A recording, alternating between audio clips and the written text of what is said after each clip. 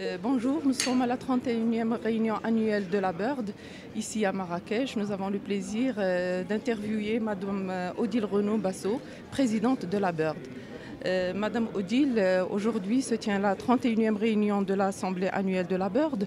C'est pour la première fois que cette assemblée se tient en Afrique et plus particulièrement au Maroc. Est-ce que c'est un choix fortuit ou est-ce que c'est dû aux défis que doit relever le continent africain à l'aune des crises qui se succèdent?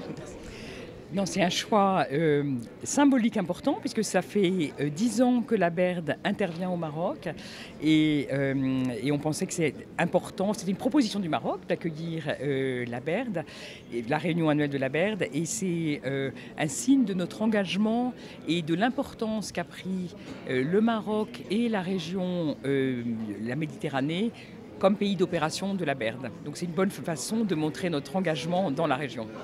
Comme vous l'avez annoncé, la BIRD engage des financements très colossaux euh, dans les pays pour les accompagner. Est-ce que, je parle du cas de- du Maroc, est-ce que la BIRD dispose d'indicateurs de performance pour évaluer l'impact de ces actions dans le pays? Oui, alors on essaie d'évaluer l'impact de nos actions. On finance beaucoup de au Maroc, on finance beaucoup de projets dans le secteur privé. Donc l'impact le plus clair, c'est quand les entreprises qu'on finance continuent, se développent et grandissent. Et par exemple, on finance des finance du conseil pour des petites entreprises, euh, PME, TPE, et euh, je crois que 70% des entreprises qu'on accompagne ont vu leur chiffre d'affaires augmenter, ce qui pour nous est le meilleur signe de succès. D'accord. Il y a aussi la marche vers la décarbonation qui est entamée ici au Maroc. Euh, la BIRD accompagne euh, les entreprises, ou plutôt le tissu économique, à travers les offres financières, que ce soit Morcef, la Green Value Chain ou dernièrement le GEF. Euh, on aimerait bien savoir euh, le bilan que vous dressez aujourd'hui, sachant que la taxe carbone est prévue pour janvier 2023.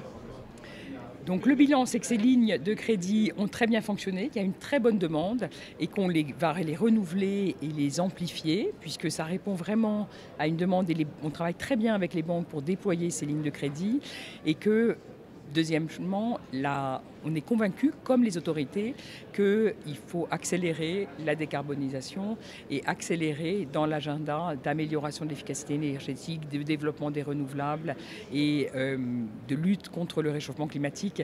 On voit au Maroc, avec tous les enjeux de sécheresse, etc., combien c'est important d'agir vite pour éviter euh, des problèmes dans le futur. D'accord. Une dernière question, c'est que les crises, que ce soit la crise sanitaire ou la crise ukrainienne, elles ont mis en évidence la vulnérabilité du continent africain.